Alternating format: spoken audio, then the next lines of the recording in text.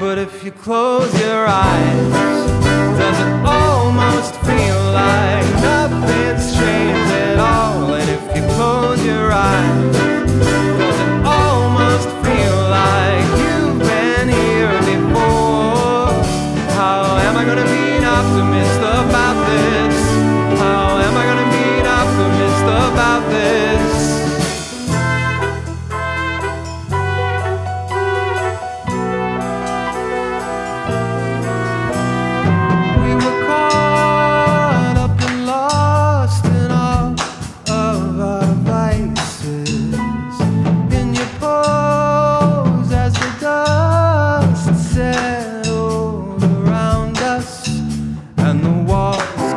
Tumbling